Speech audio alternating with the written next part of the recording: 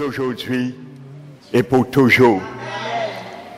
Car c'est toi, Seigneur, qui es venu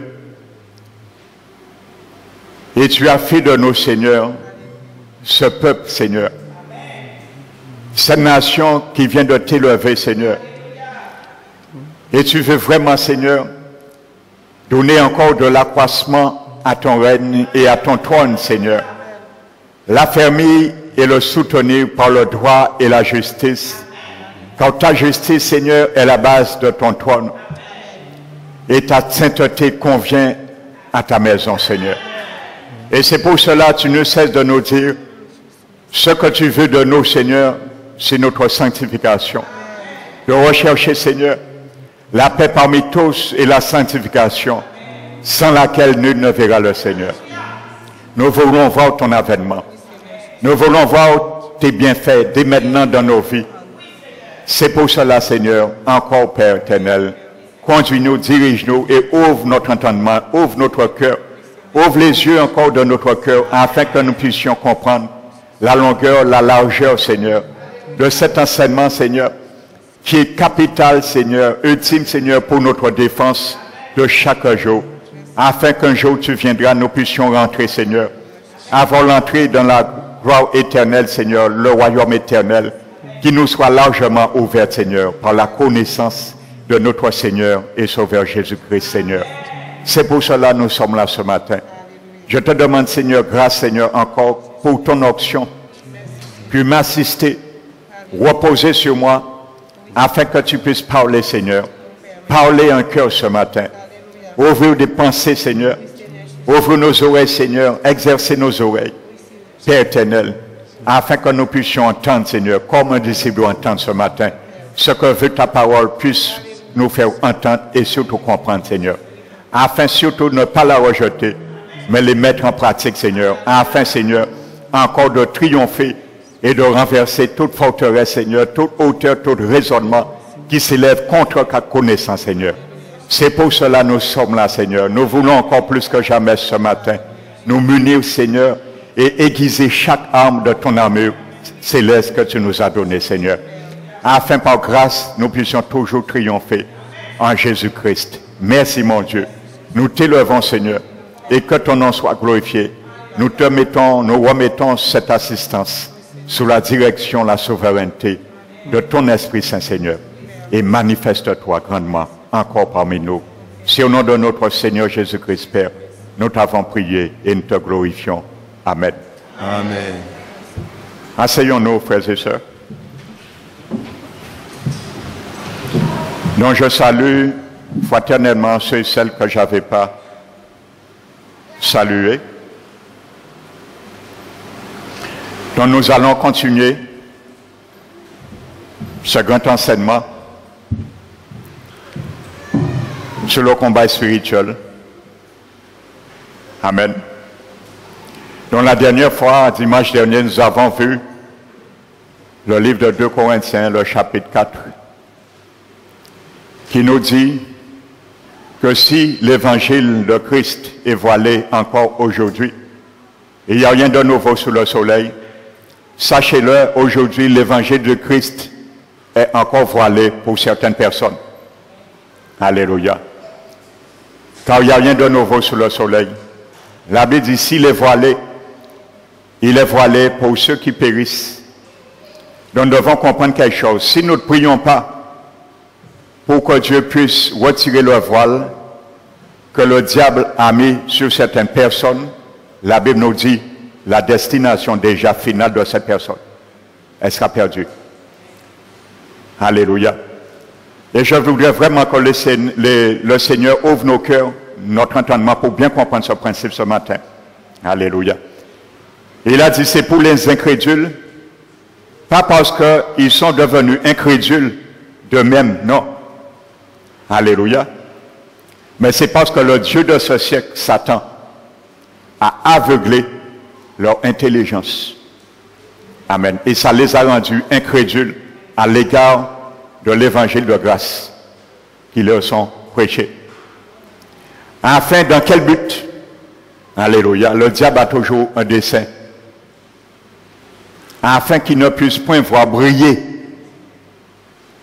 la splendeur de la gloire de l'évangile de Christ, qui est l'image du Père. Alléluia. Mais grâce soit rendue à Dieu. Quand la parole de Dieu nous dit, celui qui a dit que la lumière luise dans les ténèbres, a fait luire cette lumière dans nos cœurs. Alléluia. Afin de resplendir la gloire de Dieu sur la face de Christ. Alléluia. Donc nous avons cette lumière en nous. Nous étions avant ténèbres. Alléluia. Mais comme le Seigneur s'est fait pécher pour nous, nous sommes devenus justice de Dieu en Christ. Donc il a retiré cette ténèbre qui était sur nous. Il a retiré le voile, il a déchiré le voile de l'incrédulité qui nous aveuglait. Et il a fait luire la lumière dans nos cœurs. Et aujourd'hui, il nous demande de briller afin que ceux encore qui sont sous la couverture de ce voile d'aveuglement, que Dieu puisse faire grâce, les tourner vers lui. Et nous, de notre côté, nous allons comprendre aujourd'hui pourquoi le Seigneur nous demande, lorsque quelqu'un s'entête à refuser l'évangile, nous ne devons pas nous, nous entêter à les forcer non plus. Alléluia. Car ce n'est pas notre combat. Le combat, lorsque nous sommes conscients que quelqu'un est aveuglé, c'est pour cela que nous devons comprendre et connaître les Écritures.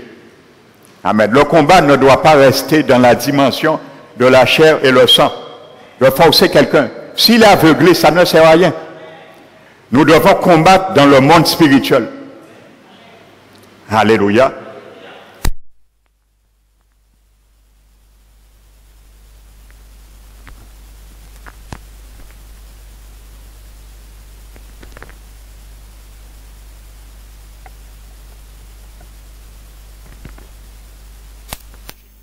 Donc voici notre combat lorsque nous sommes déjà éclairés, lorsque nous sommes déjà sauvés, pour ceux qui sont encore sur l'aveuglement. Parce que mon frère, ma soeur, je suis venu à l'évangile. Gloire soit rendue à Dieu. Le Seigneur m'a aimé. Il t'a aimé, mon frère, ma soeur. Mais sache pourquoi tu as été sauvé. J'ai été sauvé aujourd'hui. C'est parce qu'il y a eu quelqu'un qui a prié pour moi. C'est parce qu'il y a eu des intercesseurs qui ont intercédé en ma faveur et que Dieu m'a fait grâce de retirer ce voile. Et j'ai pu voir aujourd'hui comme je vois. J'ai pu comprendre aujourd'hui comme je comprends. Alléluia. Donc n'oubliez pas ça.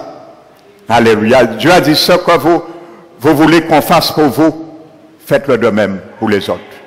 Alléluia. Donc ne cessons pas de, de plaider, de nous mettre devant le trône de grâce et intercéder en faveur de ceux et celles qui sont perdus, qui ne sont pas encore appelés, qui ne sont pas encore venus accepter le Seigneur que ce soit dans notre famille, que ce soit dans notre entreprise, que ce soit dans notre entourage, dans le pays, dans la nation, ainsi de suite. C'est notre devoir et c'est la mission, le mandat de l'Église aujourd'hui, de délivrer les âmes. Alléluia. Car Jésus nous a donné mandat de délivrer, libérer les captifs, délivrer, rendre libres les opprimés. Alléluia. Il faut les rendre libres, les opprimés. Il y a ceux qui sont opprimés dans leur âme. S'ils ne sont pas libérés, ils sont captifs. Ça, c'est pas le combat spirituel. Ces choses se font. Alléluia. Et étant libérés maintenant, ils sont disposés à entendre et à voir. Alléluia. Donc nous l'avons vu dimanche dernier. Donc je disais le mot euh, qui a été traduit dans le grec par voiler, veut dire cacher, couvrir et envelopper. Amen. Donc, le diable veut envelopper, cacher une réalité. Amen. À travers notre intelligence. Parce que n'oubliez pas, je le répète, l'intelligence de l'homme, c'est l'organe que Dieu lui a donné pour penser, pour réfléchir, pour, comment dirais-je, raisonner rêver, ainsi de suite. L'intelligence de l'homme. Alors vous pensez, lorsque l'intelligence est voilée, Et il y a une réalité qui est cachée. On raisonne, on pense, on rêve, mais dans une autre réalité qui n'est pas la réalité que Dieu veut que nous pensions, nous comprenons, et ainsi de suite. Et le but du diable, c'est mettre la semence à côté. Amen. C'est le but du diable. C'est pour cela qu'il voile cette réalité dans l'intelligence. Et comme je le répète, le diable, c'est quelque chose, lorsqu'il a atteint, il porte atteint à nos pensées, à notre intelligence, il porte atteint secondement à notre volonté. Alléluia. Donc c'est un peu l'optique de ce combat spirituel, nous allons comprendre au début. Alléluia. Pour nous étendre ensuite sur les lieux célestes, le domaine spirituel, les lieux célestes. Alléluia. Dans les lieux célestes, je le répète, veut dire, c'est un lieu invisible, un domaine quelconque se passe un combat dans le domaine invisible. Ça s'appelle les lieux célestes. Alléluia. Donc ça peut être à un moment donné un nuage noir qui est mis sur nos vies, qui poursuit nos vies incessamment, un nuage noir. Ça s'appelle les lieux célestes. Et parfois, notre combat doit être là pour libérer nos biens, pour libérer nos bénédictions. Si nous ne combattons pas précisément là, les bénédictions sont suspendues. Alléluia. Car autour de ce nuage noir, il y a qui sont grippés, agrippés des démons. Ah, et ils tiennent autorité sur ses bienfaits, ses bénédictions parfois. Alléluia. Donc il faut maintenant que l'Église du Seigneur se lève. Amen. Et ne reste plus nonchalant, passif et indolent. Alléluia. Dit, ouais, ça arrivé, moi? Ça t'est pour fait. Oui, ça m'est arrivé, mais je suis habitué. Chaque 15 du mois, ça m'arrive comme ça. Je suis habitué, je sais le mois prochain, ce sera la même chose. On est habitué, on est conditionné parce que l'adversaire nous a conditionné nos pensées à réfléchir et à voir comme ça. Parce que nous ne combattons pas, alléluia, dans la réalité qui nous fait penser et croire que les choses arrivent à l'en soi. Non. Alléluia. Nous devons nous lever et combattre. Notre combat, c'est dans le monde invisible. Alléluia. Et nous ne devons pas avoir peur au diable. Alléluia. Car nous l'avons vu, Jésus nous a donné l'autorité qui est au-dessus de l'autorité du diable. Alors si nous venons en tremblant devant lui, nous allons rien faire. Nous devons faire le diable trembler. Alléluia. Amen. Donc voici l'autorité que le Seigneur nous a donnée. Donc nous avons vu le mot voilé veut dire littéralement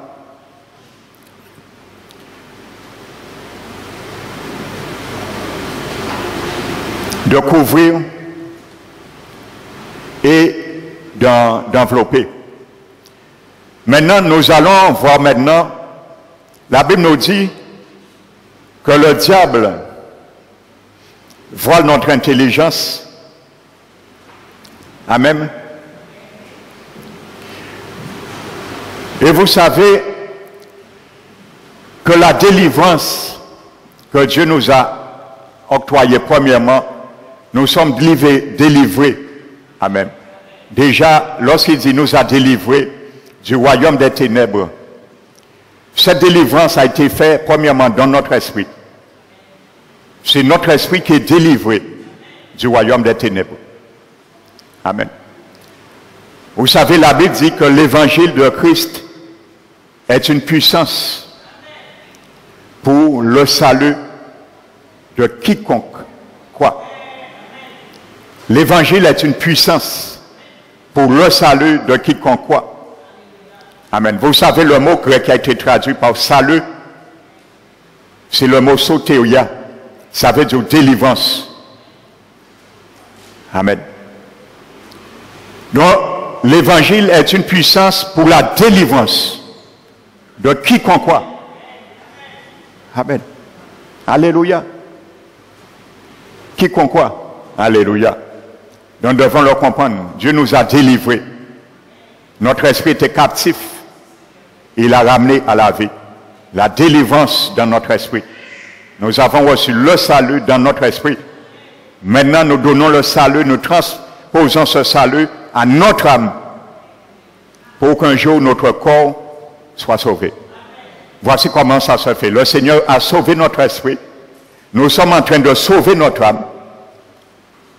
Et l'instrument par lequel le Seigneur a choisi pour sauver mon âme, ton âme, mon frère, ma soeur, c'est la parole de Dieu. Alléluia. Alors ceux qui n'aiment pas la parole, je ne vais pas dire qu'ils ont tout à perdre. Mais leur âme restera en danger.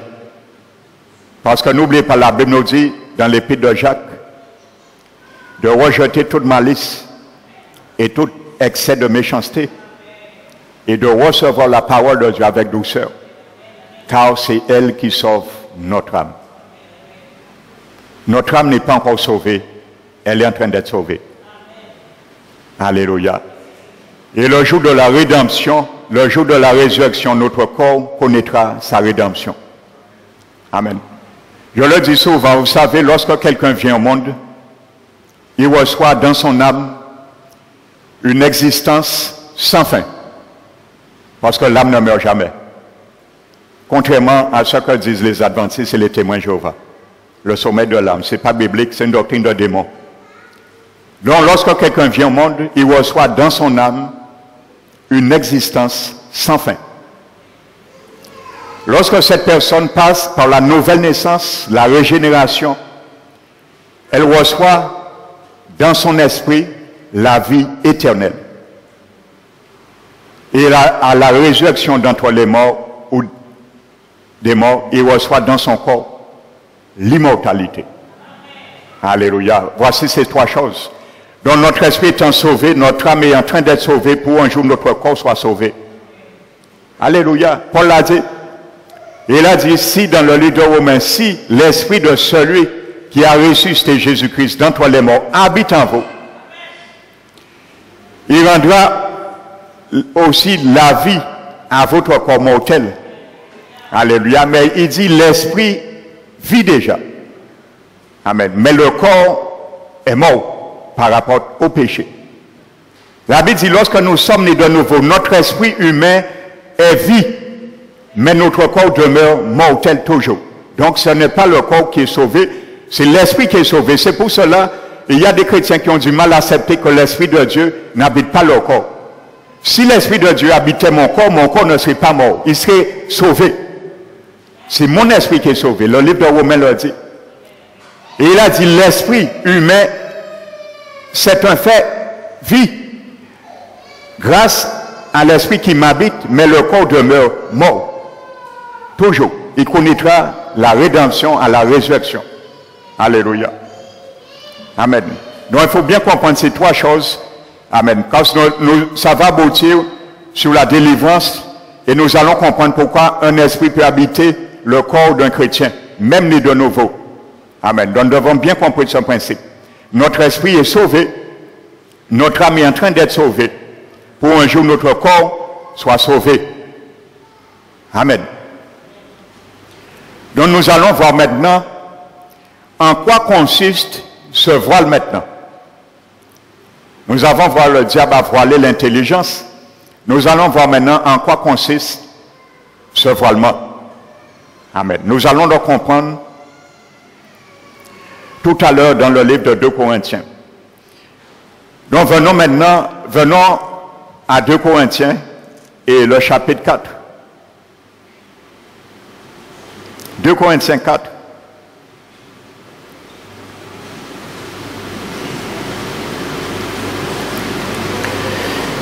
Donc nous allons reprendre. Si notre évangile, verset 3 et 4, est encore voilé, il est voilé pour ceux qui périssent, pour les incrédules dont le Dieu de ce siècle a aveuglé l'intelligence, afin qu'ils ne voient pas briller la splendeur de l'évangile, de la gloire du Christ qui est l'image de Dieu. Alléluia. Donc maintenant le mot aveuglé. Le mot aveuglé dans ce verset vient du grec tufo qui signifie émousser l'intérêt. l'intellect, rendre aveugle. Amen. Ce mot grec qui est traduit par aveugler veut dire émousser l'intellect. Émousser, faire de la mousse, l'intellect.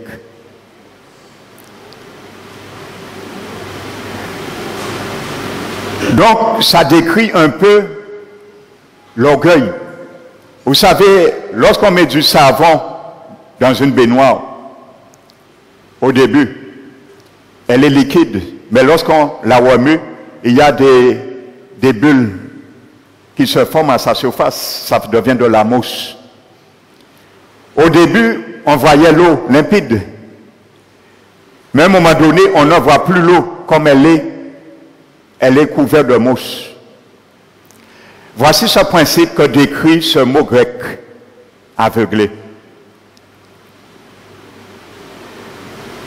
Ça veut dire que le diable met d'autres pensées et une autre manière de voir et de comprendre les choses, le dessein et le salut que Dieu a pour la personne. et cette personne demeure à travers des raisonnements, des spéculations, et ainsi de suite. Et ça amène bien souvent l'orgueil, l'autosuffisance dans la personne. Et c'est pour cela que nous comprenons quelque chose, que les religieux, bien souvent, nous allons nous battre à marteler leur entendement des dieux qu'elles ont dans les que ça c'est la tradition nous allons leur dire où est, dans quelle partie de la Bible vous pouvez nous montrer l'histoire du chapelet, l'histoire du signe de la croix, l'histoire de l'hostie, l'histoire des sièges, l'histoire des prières au nom des saints. Ils vont nous dire un passage, mais c'est ça, ils vont apprendre moins. Un passage, mais ça dans ça moins levé. Voici ce que ça veut dire le mot émoussé. Alléluia, dans le grec spirituellement. Ça veut dire le diable les tient dans la dimension qu'ils sont, qu'ils ont connue et qu'ils ont accepté. Lorsqu'ils ont accepté son pouvoir. Et le diable va faire son possible à les tenir comme ça jusqu'à la mort physique un jour sur ce monde terrien. Parce que la Bible a dit ce sont les incrédules, ceux qui périssent. Donc s'ils ne se retournent pas, ça veut dire, s'ils ne font pas un jour que par la grâce du Seigneur, le Seigneur tire mon cela, qui en surface, l'eau, c'est l'œuvre du Saint-Esprit. La parole qui veut éclaircir, briller dans leur cœur et ouvrir l'intelligence. Si par la grâce du Seigneur, leur cœur ne se tourne pas un jour vers le Seigneur, pour que Dieu, par sa grâce, retire la mousse et qu'il voit l'eau. Alléluia, c'est ça que ça veut dire spirituellement. Il faut que l'amour soit retiré pour voir l'eau de la parole de Dieu. Amen. Donc, tant qu'il y aura la mousse dans la vie de quelqu'un, dans son intelligence, il va jamais croire. Il va raisonner. Il va spéculer. Et il va dire en raison. Nous que disons que mort comme ça, ça ne pas rien en qui mort comme ça, bon Dieu qui comprend. Alléluia. Donc le diable tient dans cette position. Et malheureusement, les morts, les désirs physiques à fermés sur le monde terrien, la seconde suivante, désir à l'esprit à yo ouvert en fait. Parce que l'esprit, c'est la vraie personne.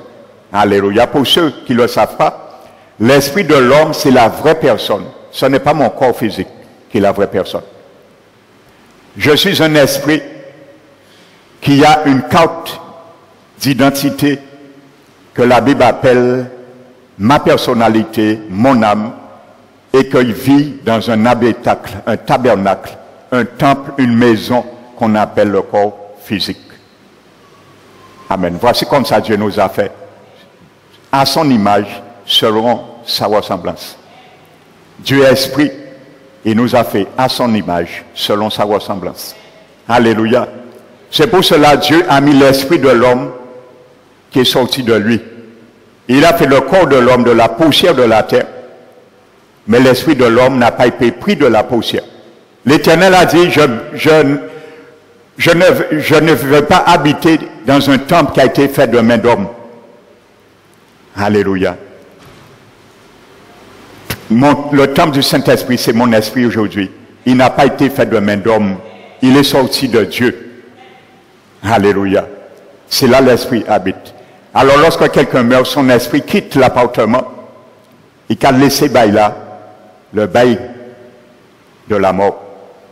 Et il quitte le bail, et quitte l'appartement, et il va dans l'eau là. Et l'esprit ne me rend pas, il caille soit en enfer, ou soit au ciel. Et mon âme, l'âme de la personne qui est solidaire à son esprit, quitte aussi et suit son esprit. Parce que la personnalité de l'homme persiste après la mort. C'est pour cela l'âme en mourant, il suit son esprit. Si l'esprit a mon en enfer, a en enfer aussi. Si l'esprit aille au paradis, l'âme aille au paradis aussi. C'est uniquement le corps qui va à la tombe. Alléluia. Et je le précise encore, la tombe n'est pas l'enfer. Donc voici la réalité. Amen. Donc voici ce que le diable fait. Le mot aveuglé. Émousser l'intellect, rendre aveugle. Donc voyez, le diable a la capacité de réduire la capacité de l'homme à comprendre l'évangile. Amen. Donc nous devons comprendre ces faits, ce principe. Pour lorsque nous prions pour la personne, nous avons vu que la personne, ou même certaines personnes, ils ont besoin de délivrance. Et je prends le monde chrétien. Je reste sur le monde chrétien. Il y a des chrétiens qui ont besoin de délivrance. On a déjà discerné l'esprit, décelé l'esprit qui les anime. Il nie ce fait. Là non plus, on ne peut pas délivrer un tel chrétien. Parce que cette chrétienne ou ce chrétien lit, nie la réalité dont Dieu ne peut pas toucher sa volonté. Parce que délivrer cette personne contre sa volonté, Dieu aurait violé la volonté d'une telle personne. Donc, ce fait, c'est le même principe. Qu'est-ce qu'on doit faire? On doit se mettre en brèche pour lier la force, la forteresse qui lie cette personne, ce chrétien, afin, sous les liens quand nous avons autorité, que cette personne puisse être dégagée et admettre la réalité maintenant. C'est le même principe pour que son intelligence ouvre sur cette réalité qu'elle a besoin ou qu'il a besoin d'une délivrance. C'est le même combat que nous devons mener. Alléluia. Il y a un serviteur qui témoigne qu'un jour, il y avait une, une famille qui était venue dans son église et une fille âgée de 20 ans s'est donnée au Seigneur. Elle a été née de nouveau, ainsi de suite. Et à un moment donné, elle a abandonné pendant deux ans. Elle s'est euh, retrouvée à vivre dans la fornication avec un homme. Ils n'étaient pas mariés. Elle avait connu la vérité. Mais elle a laissé la, main de Dieu. Elle a rétrogradé et elle est allée à vivre depuis pendant deux ans avec un homme sans être mariée un païen. Et ensuite, elle s'est résiliée dans la, le spiritisme. Alléluia, une chrétienne. Alors si nous ne nous gardons pas, la Bible dit que celui qui se sent fort prenne garde de notre tombée. Alléluia. C'est pour cela, si nous combattons pas, frères et sœurs, le diable a charné contre notre salut. Amen. Nous devons la défendre. N'oubliez pas, Philippiens nous dit, de mettre en œuvre notre salut en l'achevant par la sanctification et la crainte de Dieu. En l'achevant dans la sanctification et la crainte de Dieu. Amen. Notre salut nous a été donné à l'état. Je dois l'ameubler. Si le Seigneur vient, il me demande qu'est-ce que j'ai fait avec le salut qu'il m'a donné, et qu'après l'état brut, il va me dire, mon fils, ma fille, tu ne peux pas décoller avec moi. Qu'est-ce que tu as fait? Qu'est-ce que tu as fait de ton temps sur cette terre pour sauver ton âme pour laquelle je t'ai appelé? Amen. Eh bien, la Bible et ce serviteur euh, témoigne que cette chrétienne ne voulait pas admettre qu'elle a besoin de délivrance. Elle niait le cas. Amen. Eh bien, il fallait un combat spirituel. Cet homme, avec son équipe, s'est mis en combat spirituel. Ils ont lié les esprits. Je vous décris un exemple que moi-même j'aurais pu prendre. Que ce genre de combat, j'ai l'occasion de le faire euh, souvent pour délier des âmes. Alléluia. Ils ont lié le démon, les démons qui agissaient et qui tiraient le lien du spiritisme et qui voilaient l'intelligence de cette fille, ne reconnaissant pas son cas. Et vous savez, cette fille vivait à des kilomètres plus loin. Je vous ai dit, dans le monde spirituel, Jésus a dit, en révélation bien sûr, dans le royaume des esprits, il n'y a pas de distance. Amen. Et ils ont combattu cet esprit et ils ont lié l'esprit. Et trois jours plus suivants, cette fille a appelé et elle a dit qu'elle retourne à l'église. Elle a été, ça s'est fait tout seul. Amen. Mais si c'était aller à combattre contre la chair et le sang, de dire, ouais, mais tu ne comprends pas, tu vas mourir, tu vas en enfer, ainsi de suite. Non, ça c'est contre la chair et le sang. Lorsque le Seigneur nous ouvre les yeux, nous devons comprendre où combattre premièrement. Pas la personne, mais le domaine spirituel. Et vous savez, le pasteur a demandé à cette fille, qu'est-ce qu'elle a ressenti le jour et l'heure au moment qu'on combattait pour elle, vous savez qu'est-ce qu'elle a dit? Elle a dit, le jour et le moment qu'on combattait en sa faveur, elle a senti comme si un voile déchiré et soudainement ses yeux se sont ouverts et elle a compris tout de suite que sa mère l'attendait un jour et l'accueillait avec joie. Elle a compris ça tout de suite, mais elle a dit avant, elle, elle s'entêtait, elle était amère, elle pouvait jamais comprendre ça. Alléluia. Donc vous voyez la réalité que nous devons bien comprendre ça. Ce ne sont pas des paroles à la légère que l'apôtre Paul nous décrit. Ce sont des réalités, frères et sœurs. Amen. Nous devons bien connaître qui est notre ennemi. Et je ne cesse de le répéter. Il y a beaucoup parmi nous qui combattent entre frères et sœurs dans l'église. Je ne parle pas ici seulement, je parle en général. Parce qu'ils ne savent pas qui est leur ennemi. Frères et sœurs. Notre ennemi, ce n'est pas notre prochain. Notre ennemi, c'est le lieu céleste. Là qui est impesté de démons. C'est là notre combat. L'engagement que Jésus nous a donné. C'est là pour nous aller. Prendre un assaut ce que le diable tient en, en esclavage. Prendre un assaut nos bénédictions, les bénédictions de ceux, c'est que le diable tient afin de les prendre dans leurs mains. Alléluia.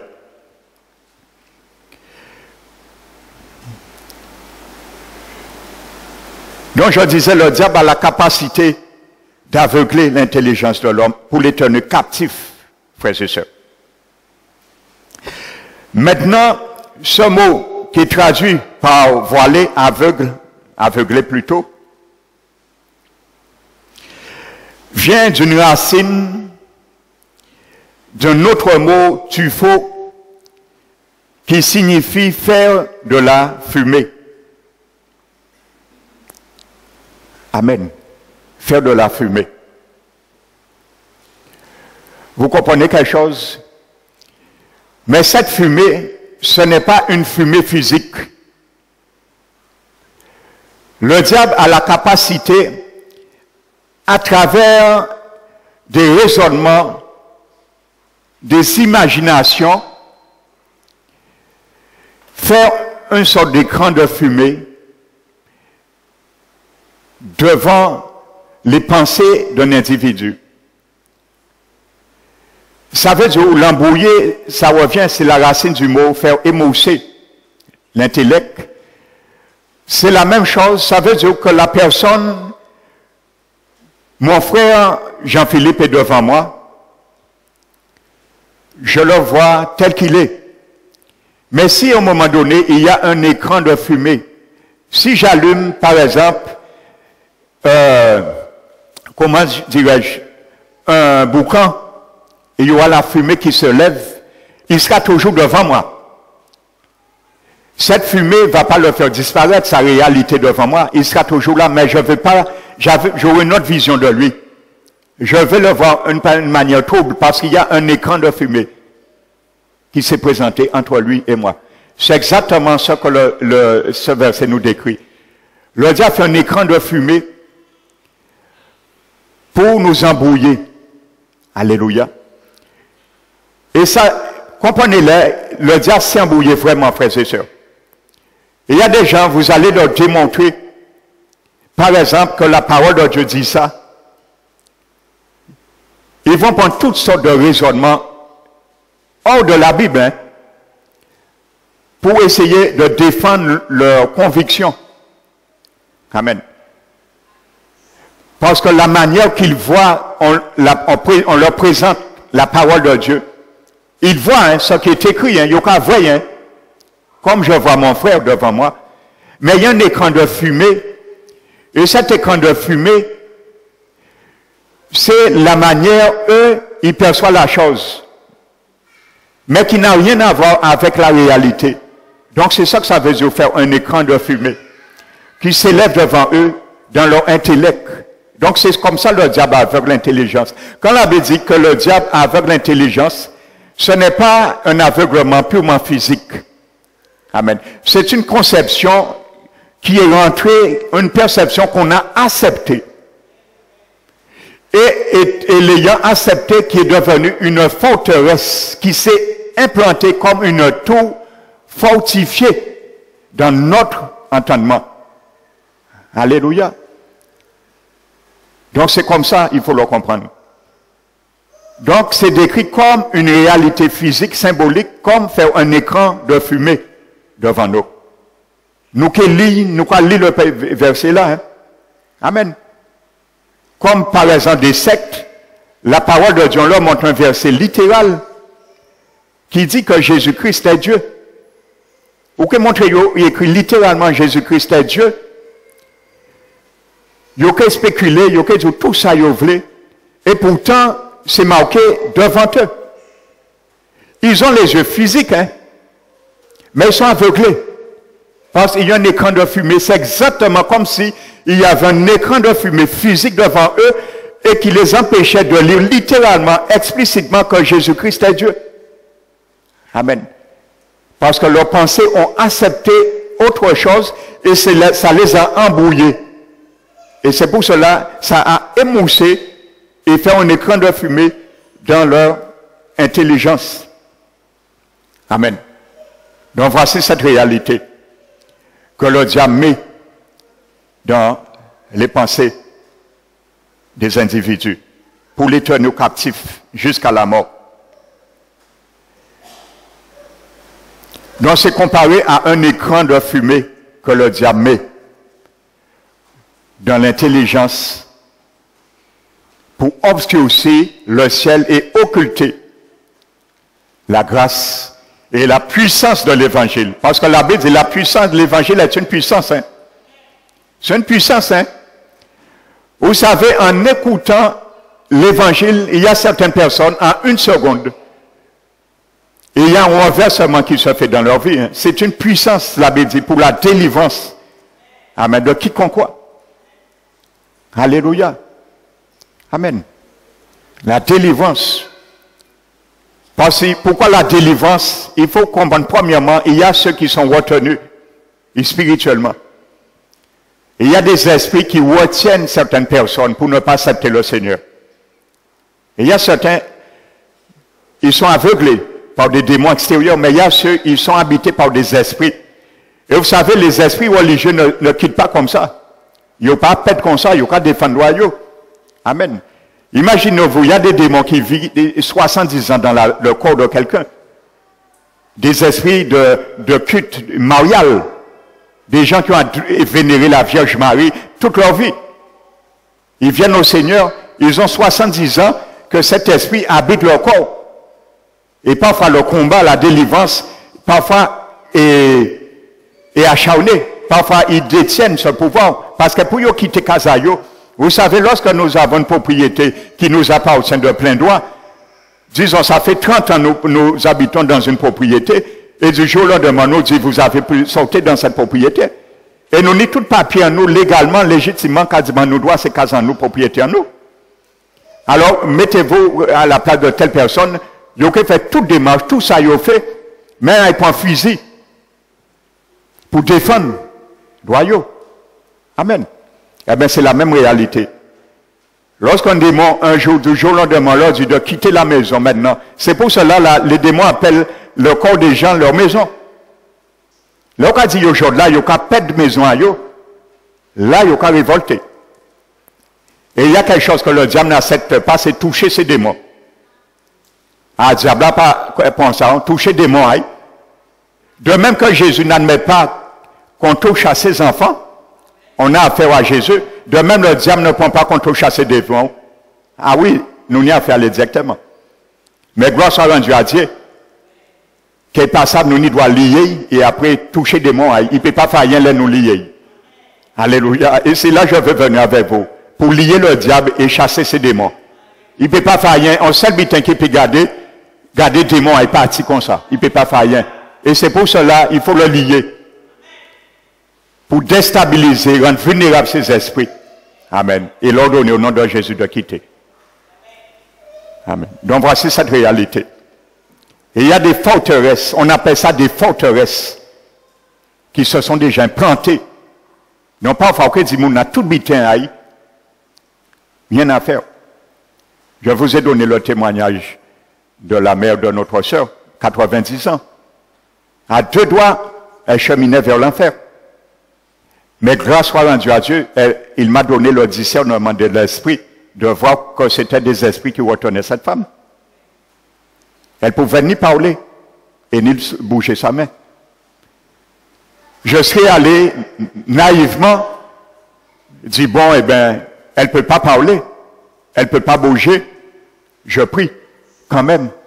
Non. Sa volonté n'avait pas obtempéré pour son salut. Alléluia.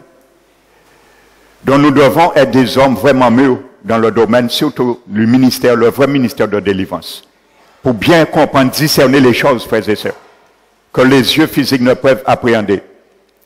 J'ai demandé à cette femme que je suis venu t'apporter une parole pour laquelle tu puisses être sauvé. Il faut que tu dises oui. Et je vais prier pour toi. Elle ne pouvait pas parler. J'insistais, insisté, elle ne pouvait pas parler. Parce que Satan savait au dernier moment là, au pays, on ouvriait à la dernière heure. Sorti qu'on s'en griffe en main. Donc, qu'est-ce que j'ai dit? J'ai dit, bon, eh bien, parce que tu ne peux pas parler, lève ta main droite. Et si, fais ta main montée droite, si tu es d'accord, je saurai que tu me réponds oui. Et je vais prier pour ton salut. La main ne bouge pas. J'ai insisté, rien ne se fait. Et c'est là le Seigneur m'a fait voir que son esprit, qui est en action à l'œuvre, dans cette situation. Et j'ai commencé à proclamer la parole de Dieu. Et j'ai dit à Satan, aucune puissance ne peut interdire une créature faite à l'image de Dieu d'accepter le sang et le pardon de Jésus. Et j'insistais. Et lorsque j'insistais, j'ai commencé à proclamer la parole. La parole l'a délivré. Eh bien, cette femme a ouvert sa bouche. Et elle a levé les bras. Elle a fait, oui! Bouche là ouverte, mais elle a levé en même temps. Parce que les démons ont lâché prise. Ils ont lâché prise. Eh bien, ça s'appelle des forteresses. Et grâce à Dieu, elle est partie dix jours après, dans le Seigneur. Amen. Voici notre combat. Alléluia. Nous devons avoir les yeux bien ouverts dans le combat, dans la délivrance. Alléluia. Donc voici ce que le diable veut faire. Lorsqu'il y a des forteresses implantées, c'est pas facile à démolir. Le diable va nous, à nos pensées, dis non, dis non. Pendant nous parle, les esprits disent, dis non, dis que moi comme ça, bon Dieu qui. Oui, c'est ça qui, résonne. Hein. Alléluia. Vous savez, j'ai fait la délivrance l'autre jour sur quelqu'un. La personne me disait, pendant que je chassais les démons, elle a entendu les, les démons crier à l'intérieur de son corps. Les démons criaient, elle a entendu, l'être apathique. Alléluia. Ça, c'est dans le royaume spirituel, on peut voir et entendre de telles choses. Alléluia. Parce que lorsqu'ils viennent, ils savent qu'il y a une autorité du Seigneur établie, il y a obtempérer. Alléluia. Mais nous devons savoir à quel moment ils perdent leurs droits. Parce qu'ils ont leurs droits. Et je leur dis tout le temps, fatiguez-moi si démon. Là, ils ont des droits légaux. Et je leur dis, encore pour revenir aux églises qui dit que les chrétiens ne peuvent pas habiter par démons. Eh bien, la, plupart des délivrances que j'ai déjà opérées, c'est dans la vie des chrétiens. Très peu dans la vie des païens. Alors ça tient bien, je sais ce que je dis. Et pas mon pays venir raconter mon compte de fait ça. Parce que ça fait partie de mon ministère. Le Seigneur m'a donné cette option aussi pour la délivrance. Amen. La plupart, ce sont des chrétiens. Et très peu de païens. Amen. Parce que lorsque Dieu va délivrer un païen, il y a deux dangers.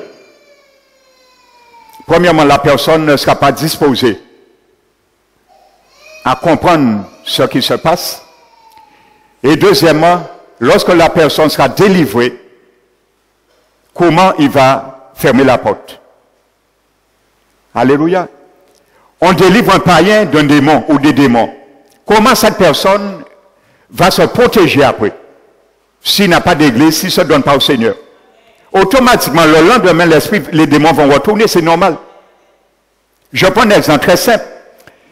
Quelqu'un qui s'adonne à l'idolâtrie. À l'idolâtrie. Cette personne vient, on délivre cet esprit idolâtre qui, que l'idolâtrie a ouvert porte dans son, corps. On délivre cet esprit. Le lendemain, cette personne caille en messe. Il ne rentre en côté ni statue ni démon. Démon là qui suivent lui, démon là qui vous rentrez encore. Démon là qui est en train de rentrer en l'église là et qui rentre encore à même bitin ou à l'autre. Et Jésus nous avertit que lorsqu'un démon quitte un corps, prenons garde à ça. La Bible dit le démon, parce qu'un esprit, un démon un esprit, c'est un être désincarné qui n'a pas de corps physique et il cherche un corps à se personnifier. Voici ce qu'on appelle un démon esprit. Alléluia. Donc, il cherche un corps pour se personnifier. Et c'est pour ça il y a beaucoup d'esprits, il y a beaucoup, toutes sortes d'esprits. Si c'est un esprit de, de, de suicide, cet esprit-là de suicide, il va, quand il va rentrer dans le corps de quelqu'un, pour se personnifier, il va ramener à cette personne une tendance suicidaire, parce qu'elles sont des mondes de suicide. Si un esprit d'alcool, lorsqu'il va entrer dans la vie de quelqu'un, c'est pour ramener cette personne à boire tout le temps et à être un ivrogne, parce que c'est non à l'esprit d'ivrogne, ainsi de suite. Amen.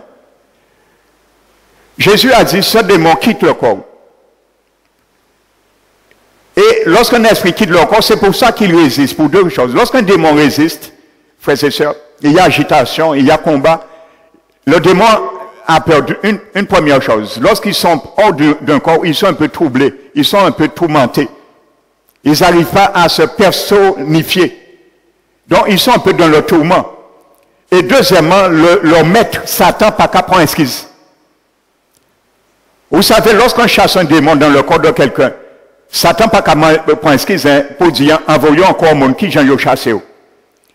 J'ai lu un témoignage, un serviteur qui était sorcier avant, il est pasteur aujourd'hui. Il a fait un témoignage, un livre. Il a dit que dans son temps, lorsqu'il avait, il allait rencontrer Lucifer, que des démons qui travaillaient avec lui l'a montré un endroit, un grand puits qui était chauffé à peu près à 1200 degrés avec une espèce de l'huile.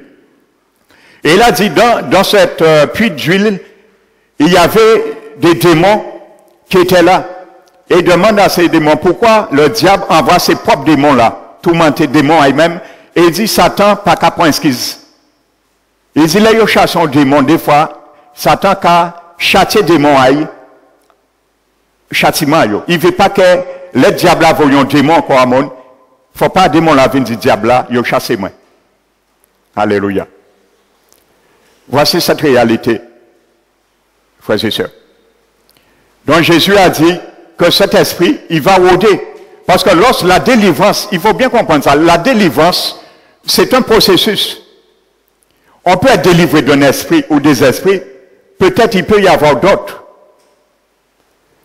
Donc, il faut qu'on continue dans le sens de la sanctification. Donc, c'est un processus. Alléluia. Ainsi de suite. Donc, Jésus a dit que le démon va toujours essayer de sonder le terrain. Donc, il revient et l'appartement, le corps de la personne qu'il appelle sa maison. Et j'ai déjà entendu des démons littéralement dire c'est cas en moins. Dans la délivrance. Un peu sorti, c'est cas en moins.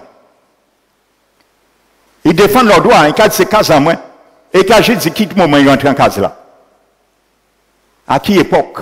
Et loin de comprendre, parfois un démon rentre dans la vie d'un bébé quand il est déjà fautus par des malédictions sous trois, quatre générations. Il faut bien comprendre ces choses. Quand l'abbé dit que Dieu punit l'idolâtrie sous trois, quatre générations, lorsque des démons habitent nos grands-parents qui ont adoré des idoles ainsi c'est bien souvent, il y a des esprits, ces esprits s'infiltrent et se perpétuent dans la vie des enfants ainsi de suite, sur trois, quatre générations.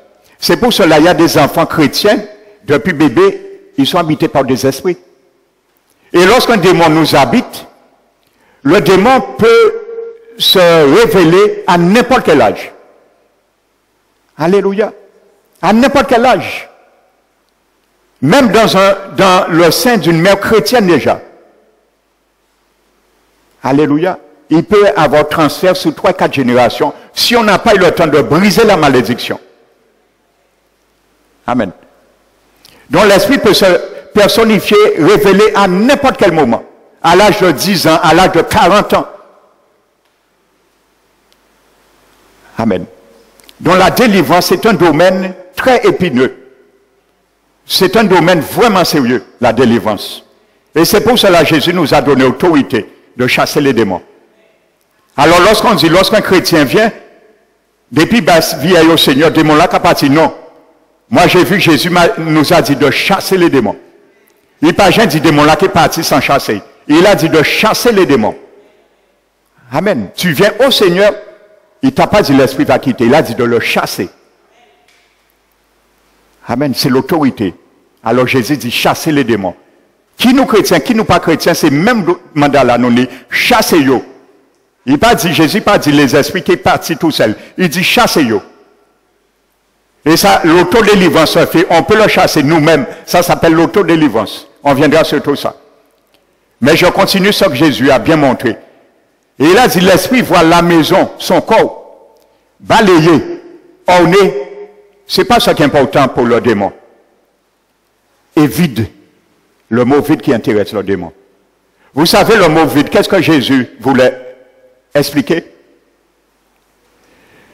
Que bon Dieu fait mon grâce. Et comprenez, lorsqu'il y a des conférences d'évangélisation, le Seigneur guérit, il chasse des démons. Mais regardez, la plupart des gens que les démons, Jésus chasse les démons, ce sont des gens, Jésus sait, il va recevoir tout de suite le salut. Amen. Donc ça revient même que Jésus attend les vignes chrétiens et ensuite délivré. Donc c'est pour montrer la gloire de Dieu et pour servir de signe à sa parole. Voici les signes qui suivent ceux qui ont cru. Donc dans des conférences, c'est un fait. Ça c'est autre chose. Le Seigneur agit dans la vie des païens et chasse les démons. Mais il sait que lorsqu'on va faire une demande à la repentance, ces gens que Jésus a déjà chassé les démons, ils vont accepter le Seigneur. Mais comme certains, certains ministères, ils ont acheté un ministère de chasser des démons encore tout le monde. Il y a une partie. Il y a chercher la démon païen des fois. Il y a chasser démons via païen à tort et à travers. Non. Bon, c'est pas bon nous demander là ça. Parce que le vide, ça veut dire que le démon a vu que cette personne, Dieu l'a fait grâce, mais il pas occupé place le vide là, ça part un autre monde qui te lit. Alléluia. La personne de Jésus. Le démon n'a pas vu le Seigneur Jésus dans la vie de cette personne, occuper cette place qui est vide. Et Jésus, lorsque nous venons au monde, dans le cœur de l'homme, Dieu fit l'homme venir au monde avec un vide. C'est pour je combler ce vide par la présence et l'habitation du Seigneur Jésus. Toute personne a ce vide dans son cœur quand il vient au monde. Amen.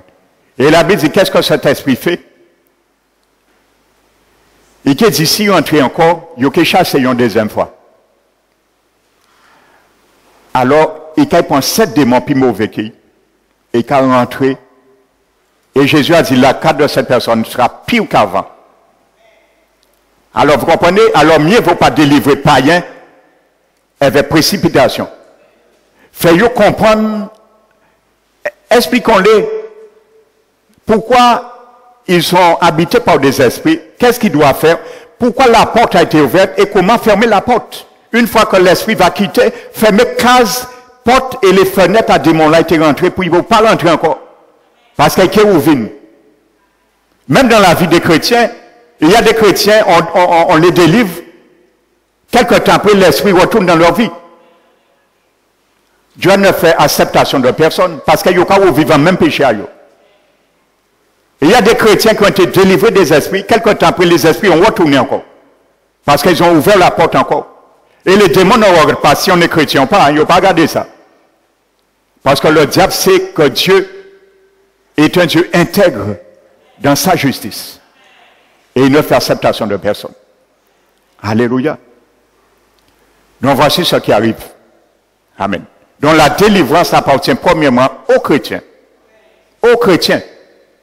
Alors réjouis-toi, mon frère, ma soeur, de le savoir aujourd'hui. La délivrance t'appartient. La délivrance m'appartient. Amen. Et l'autorité que Dieu a donnée à certains pasteurs, ils n'ont pas délivré brebis ils ont passé, ils ont désobéi à mandat à Jésus. Et subi les conséquences. Parce qu'il y a vraie réalité là, à travers via chrétien. Ils ont bien lié. On peut toujours dire, ouais, mon église, euh, mes, mes brebis n'ont pas de démon, c'est pas vrai c'est l'illusion et le diable rigole. Pas trop tard, on verra que les personnes sont liées. Amen. On n'a pas besoin de voir quelqu'un crier, tomber hein, pour sa vision des Hein. L'homme spirituel le sait, parce que le don du discernement des esprits nous le permet de, de le savoir. Amen. Alléluia. Amen. On ne délivre pas le peuple. Et le diable tient captif les opprimés. On est opprimé, opprimé, angoissé. Ainsi de suite. Donc je faisais cette parenthèse. Donc ça occupe avec un nuage malsain que le diable répand dans l'intelligence des hommes pour les tenir captifs dans leur entendement pour qu'ils ne puissent pas voir clairement. Et c'est cette même racine de ce mot qui traduit parfois par hautain, orgueilleux ou rempli de soi-même. Alléluia. Ce mot veut dire hautain, orgueilleux et rempli de soi-même. Vous voyez, l'orgueil est symbolisé, illustré dans la Bible comme du levain qui se gonfle. Non, c'est la même racine que ce mot. Émoussé, qui se gonfle. On se justifie. Amen. On dit oui, mais c'est ça j'ai appris. Ainsi de suite. L'orgueil qui se gonfle, qui s'émousse. Mais l'abbé dit que Dieu fait résister aux orgueilleux. Et dit aussi que l'orgueil précède la chute. Et c'est ce que le diable fait, parce qu'il le connaît. Le diable lit la parole, il sait que la Bible dit l'orgueil précède la chute et que Dieu fait résister aux orgueilleux. Alors, quand il mousse nous dans l'orgueil, quoi dit, yo tué dans l'erreur. Quoi dit, bougan arrêtez de faire ça. Ça pas bon, la Bible a dit ça, il a condamné. Nous avons montré, yo, là, il a marqué, hein, dans la Bible. Yo, a dit, bon Dieu, qu'à comprendre. Parce que c'est ces pensées que le diable a mis, dit, bon Dieu, qu'à comprendre. Alléluia. Et automatiquement, il détourne le jugement de Dieu. Parce que quand il dit que Dieu comprend, il Dieu trop amour. Trop amour. Il y a ceux qui ont fait des doctrines, ils se sont mis au-dessus de Dieu. Ils ont décrété que Dieu trop amour pour voyer mon en fait. Des églises. Ils ont décrété, hein, d'ailleurs même, hein, et quand vient l'église, il a louer, il a chanter, il a prêcher. Mais intelligence a yo, ni on lomos, ils ont grand écran de fumée. En amayo. Parce qu'ils ont décrété, le diable les a mis une doctrine disant que Dieu est trop amour pour voyer mon en enfer. Alors, ils ont décidé de eux-mêmes de prôner le sommeil de l'âme. Comme Dieu est trop amour pour voyer mon en enfer, alors ils ont décidé de eux-mêmes de prêcher que l'homme mort, l'esprit âme et corps fini. Et il n'y a plus souvenir. Amen. Mais malheureusement, bon Dieu a montré nous que le riche, dans Luc 16, après Moraï, mémoire a été intacte, il changeait, il laissé cinq fois, six fois. Il a appelé, il voit Abraham et Lazare. Mémoire a pas éteinte. Ainsi de suite. La Bible nous montre que dans le livre de Samuel, je crois le chapitre 28, que Dieu nous montre que Samuel était mort des années. On l'a enterré. Et après quelques années, Samuel qui a parlé avait Saül. Donc, l'esprit a mal été annihilé. Les, les patriotes pas qu'à prêcher doctrine au sommet de l'âme. Parce que bon Dieu pas te permettre de venir parler à Saül. C'est un miracle que Dieu a permis pour montrer cette illustration. Dans Ézéchiel 14, la Bible nous montre que des prédécesseurs au roi de Babylone sont là à l'attendre son arrivée parmi eux. Ils ont attendu et ils ont parlé bail. Ainsi de suite. Parce qu'on a décidé, nous allons mettre à côté parole à bon Dieu, bon Dieu trois mots, puis voyez mon en enfer, alors nous allons prêcher la doctrine du sommet de l'âme. Esprit, âme et corps et butin.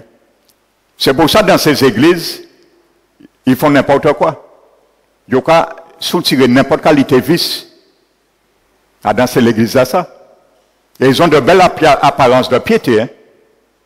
De belles apparences de piété. Eh bien, c'est ça que Jésus a dit. Vous êtes des cercueils blanchis de l'extérieur, mais à l'intérieur, vous êtes remplis d'ossements desséchés. Il dit nettoyez la coupe extérieure pour que la plat à l'intérieur soit propre, purifié. Et il y a voyons l'homme on en fait. En l'homme on en fait. Parce que quand tu prends des doctrines comme ça, je le dis tout le temps, hein, si jamais quelqu'un venait me prêcher l'évangile, que l'enfer pas qu'à exister, bon Dieu pas répondre mon en fait, qui intérêt à accepter l'évangile? En dit, vous perdez votre temps. Pourquoi vous me prêchez un évangile qui n'est pas ni jugement, pas ni l'enfer? Laissez-moi vivre. Et l'un qui est mort, ça qui est fini. Comme Paul l'a dit, buvons et mangeons, et après c'est bête? Alléluia. Mais lorsqu'on prêche de doctrine, c'est mon accepté facilement. Je disais dimanche un évangile tronqué de mensonges. On présente maintenant des évangiles tronqués de mensonges pour remplir des églises. La facilité remplit les églises. Et bien souvent pour empocher de l'argent par extorsion, acquis des gains par extorsion. Mais ces serviteurs, des fois, ils n'ont pas qu'à préoccuper des âmes à Brebila. Ils n'ont qu'à prêcher n'importe quoi, un évangile tronqué de mensonges, de facilité. Amen. Que les gens soient d'accord ou pas, vous prêchez la vérité. Parce que l'évangile n'a jamais arrangé quiconque. Autant de Jésus, l'évangile a arrangé du monde. Autant des apôtres, l'évangile avait arrangé quiconque. Quand Jésus a commencé à toucher, là Jésus touchait premier démon à Satan.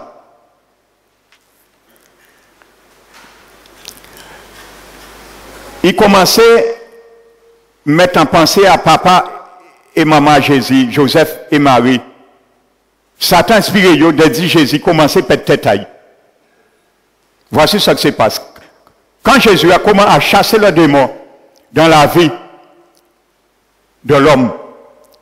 Maman et papa commençaient à dire, commençaient peut-être à Il n'y a pas de raison. Lorsque Silas et Paul chassaient démons à un servante qui étaient un don de divination, qui étaient esclaves, ils ont jeté en prison. Satan pas tient compte qu'il a touché des moyens. Alors des églises, ils ont prêché aujourd'hui qu'un chrétien peut habiter par des esprits. Satan a soulevé contre ces églises-là, ça. Et les pasteurs même de ces églises, ont soulevé contre les serviteurs qui travaillent et qui demandent à Jésus. Donc ça n'a pas changé aujourd'hui. Alléluia. Amen. Et c'est pour ça, ni des pasteurs qui comptent moins, mais à glorifier bon Dieu. Que bon Dieu, a prier pour bon Dieu au Et pour bon Dieu, convaincre eux-mêmes à brebis à que brebis a besoin de délivrance. Alléluia. Mais ça ne va pas m'arrêter. Parce que moi, je fait travailler à bon Dieu. Alléluia. Alors, qui révise leur voix? Parce que j'ai dû réviser des doctrines avant. Quand j'ai appris, je les ai rejetées. Alors, tout est possible. Je sais les plus difficiles de désapprendre qu'apprendre, mais en rejetant l'autre doctrine qui est à apprendre. Parce qu'il n'y a pas de biblique. Allez, il faut savoir où commencer à zéro avec la parole de Dieu. Quand il le faut. Amen.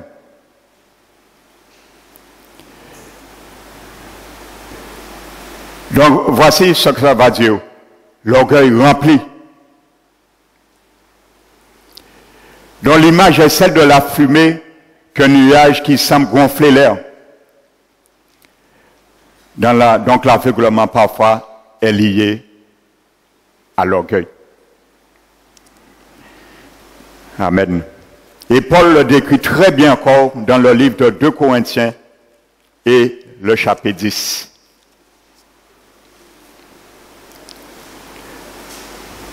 Alléluia. Aujourd'hui, c'est pour, venir à cette image de émousser les pensées.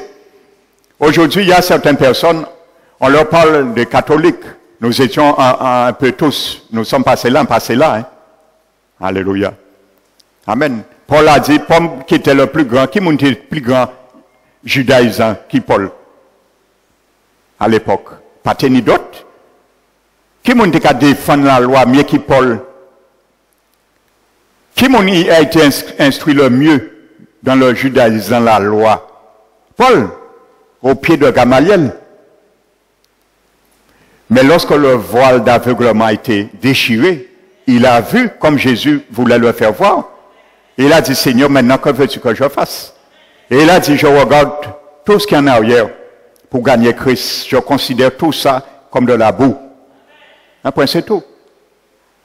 Aujourd'hui, beaucoup ne veulent pas considérer ça comme de la boue pour gagner Christ. Pour ne pas en faire, arrêter c'est ça. Donc c'est ça, émousser les pensées. Amen. Aujourd'hui, on dit certains que vous savez que aujourd'hui, il y a des témoignages que Jean-Paul de Yann en faire, par exemple. Il y a dit, mais non, ça pas possible. Comme si Jean-Paul II, c'est un homme, on c'est homme. Ils sont hommes, ils vivent au monde comme moi, et comme toi et moi. Il est venu au monde condamné, un point, c'est tout. Et il avait besoin d'un rédempteur. C'est pas parce qu'il s'appelle Jean-Paul II que bon Dieu qui fait grâce. Il est un homme comme tout le monde. Il est mort dans ses péchés. Il a dans le jugement dernier. Point c'est tout. Parce que la Bible dit nous étions tous morts. Paul même s'inclut dans Éphésiens 2. Il dit nous étions tous morts. Paul qui inclut pas dit un grand judaïsme en partie Adam. L'un était dans la loi, bon Dieu était considéré moins en exception à la règle. Non, il a dit nous étions tous de leur nombre. Et nous étions de nature enfants de colère. Nous suivons nos propres voies, obéissant la volonté de notre chair et de nos pensées. La volonté de nos pensées, parce que c'est ça nous veut penser. Et Dieu qui comprend. Non, Dieu peut comprendre rien. Dieu qui comprendre, réformer vos voies et réformer vos pensées.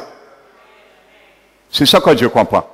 Réformez vos voies, Jérémie 18, réformez vos œuvres. Et retournez à moi. Parce qu'elles ont pède. Retournez à moi. Alléluia. C'est ça que Dieu comprend. Alors Dieu pas comprendre que, en fait, catholique, enlevé, enlevé musulman, enlevé comme ça. Non, Dieu pas comprendre ça. Il qu'à comprendre, nous vivons au monde condamné. Et si nous pas accepter un rédempteur, le rachat de cette mort condamnation, nous sommes mort condamnés également, Jean nous vivons au monde. Et nous sommes retournés mort condamnés. C'est pour ça, dans le livre de l'Apocalypse, il y a un jeu de mots, il faut bien comprendre spirituellement. L'Apocalypse 20, le jour du jugement. La Bible dit tous les morts reviennent à la vie. Le jour du jugement, les morts reviennent à la vie.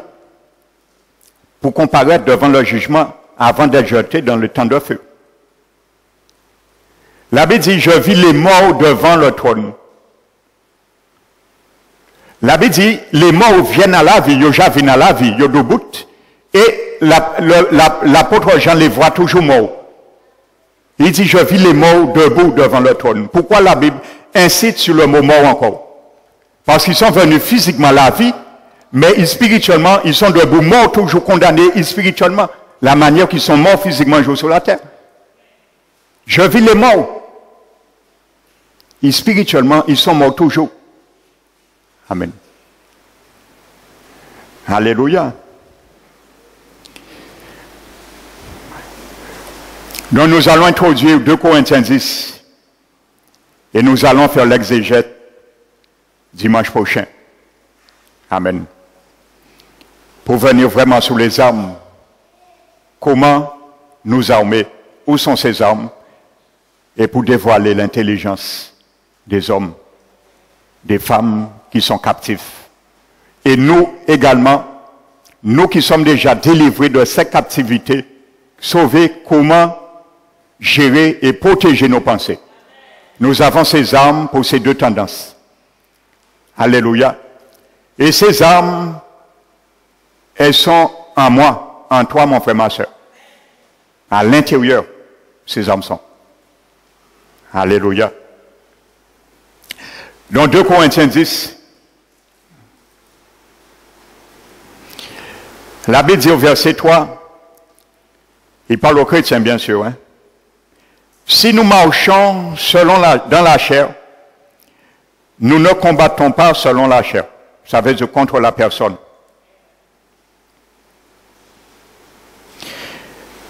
Car les armes avec lesquelles nous combattons ne sont pas charnelles, mais elles sont puissantes. La Bible dit elles sont puissantes. Hein? Mon frère, ma soeur, si tu sais pas les armes qui t'habitent, par lesquelles tu dois combattre le royaume des ténèbres, la Bible te dit aujourd'hui qu'elles sont puissantes. Elles sont puissantes. Ce n'est pas n'importe quelle arme. Amen. Parce que ce n'est pas avec des armes du faux physiquement nous pouvons combattre l'invisible, nos ennemis que nous ne voyons pas avec nos yeux physiques. Imaginez combattre un ennemi dans une guerre physique est déjà parfois difficile. À force, c'est un ennemi que nous ne voyons pas et nous devons les combattre et dont le Seigneur nous a fait grâce de nous armer de l'armée ou de l'équipement de notre Seigneur Jésus, qui est le maréchal, le général en chef de l'armée, qui nous a enrôlés avec lui. Mais elles sont puissantes par la vertu de Dieu pour renverser des forteresses.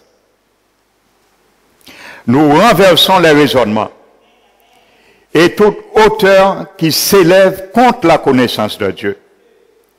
Et nous amenons toute pensée captive à l'obéissance de Christ. Amen. Voici ce que nous allons faire l'exégèse dimanche prochain. Et je peux vous dire, ça va vous fortifier. Alléluia. Pour bien comprendre, frères et sœurs, chaque occurrence que la Bible nous dit, forteresse, raisonnement, hauteur, pensée, nous allons bien comprendre ceci, qui va élargir encore la connaissance que 2 Corinthiens 4 nous a, nous a donnée. Amen. Donc, l'Éternel, je vais m'arrêter là, que l'Éternel soit glorifié et que son nom soit vraiment béni encore. Nous allons nous mettre debout, frères et sœurs.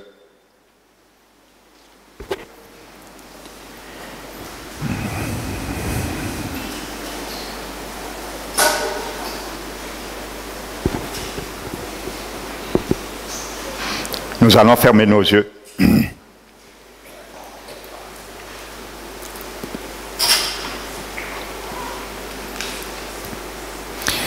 Père éternel, merci Seigneur.